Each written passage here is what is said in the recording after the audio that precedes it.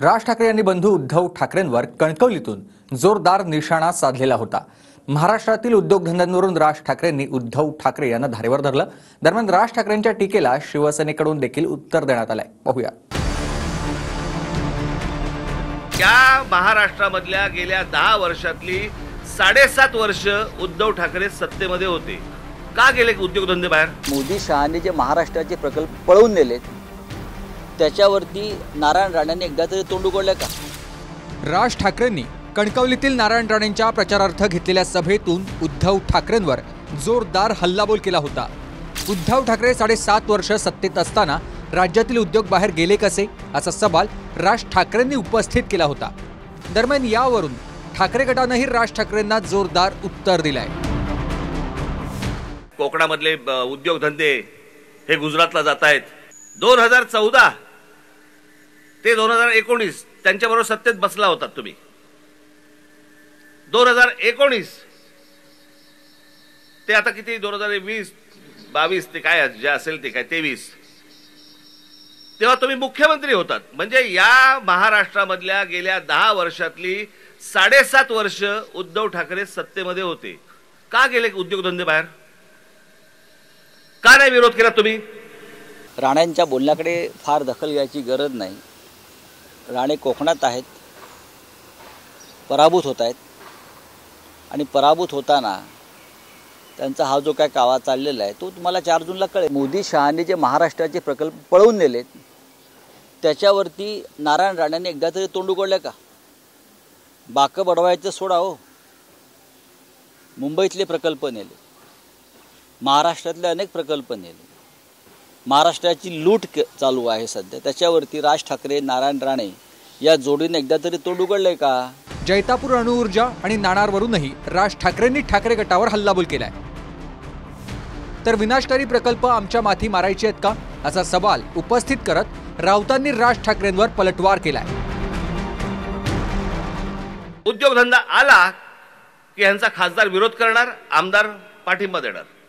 जैतापूरचा अणुऊर्जा प्रकल्प अणुऊर्जा प्रकल्प कोकणाचा नाश होईल. तिथे जर समजा स्फोट झाला तर काय होईल? आत्ता भारतामध्ये अणुऊर्जा प्रकल्प कुठे कुठे आहेत? Kakrapar power station Gujarat Madras atomic power station Tamil Nadu स्थापना एकोणीसशे चौऱ्याऐंशी. तिथे कधी मला आठवत नाही की बाबा ऑटोमिक रिसर्च सेंटर दूर लोटा नाणारमध्ये जेवढी जमीन आज अक्वायर केलेली आहे लोकांच्या जमिनी घेतलेल्या आहेत कोणी घेतल्या तो जमिनी?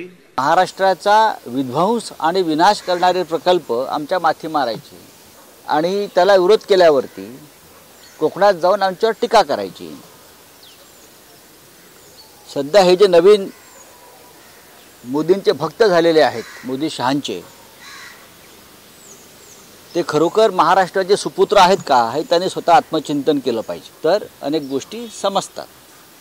पण अंधभक्त जे होत आहेत नकली अंधभक्त हे खरे भक्त नाहीत. हे उद्या त्यांची भक्ती बदलू शकते देव बदलू शकतात. त्याच्यामुळे त्यांनाही समजणार नाही.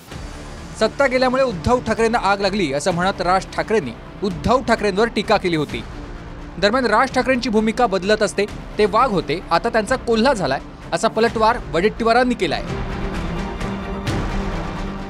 काल उद्धव ठाकरे इकडे येऊन गेले ना हे तुमचं जे आलं ते अडीच अडीच वर्षाचं जे काही झंगाड होतं ना?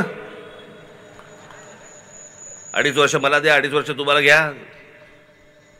समजा असं पकडूया की त्यावेळेला भारतीय जनता पक्षाने मान्य केले असते तुमची अडीच वर्ष.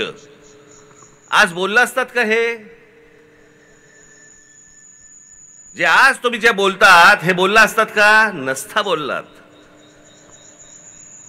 कारण सत्तेचा बोळा कोंबला असतो तोंडात. मग आता काय बोलणार? ती गोष्ट हिरावून घेतली म्हणून आगळली लागली खाली. नाही राज ठाकरेंची भूमिका कधी स्थिर राहिलेली नाही. राज ठाकरेंची भूमिका नेहमी दोन हजार चौदा मध्ये वेगळी होती एकोणीसमध्ये वेगळी होती. आता वेगळी आहे. मला वाटतं की राज ठाकरे हा माणूस वाट माणूस आहे. पण यांचा कोला झाल्या काय गती झाली? तर कुठेतरी यांचा हात कुठल्या तरी दगडाखाली दबला आहे का? म्हणून यांच्यावर पाळी आली का? ही म्हणायची वेळ आली आहे. नाहीतर राज ठाकरे अशा जुमलेबाजांना जुमानणारा माणूस नाही. कणकवलीतून राज ठाकरे यांनी उद्धव ठाकरेंचा चांगलाच समाचार घेतला. दरम्यान त्यांच्या टीकेनंतर ठाकरे गटाकडूनही त्यांना जोरदार उत्तर देण्यात आलं होतं. Bureau report TV nine Marathi.